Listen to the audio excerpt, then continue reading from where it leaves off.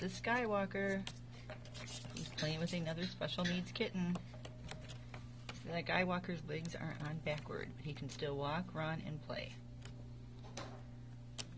He's very friendly, very sweet, does not do any stairs.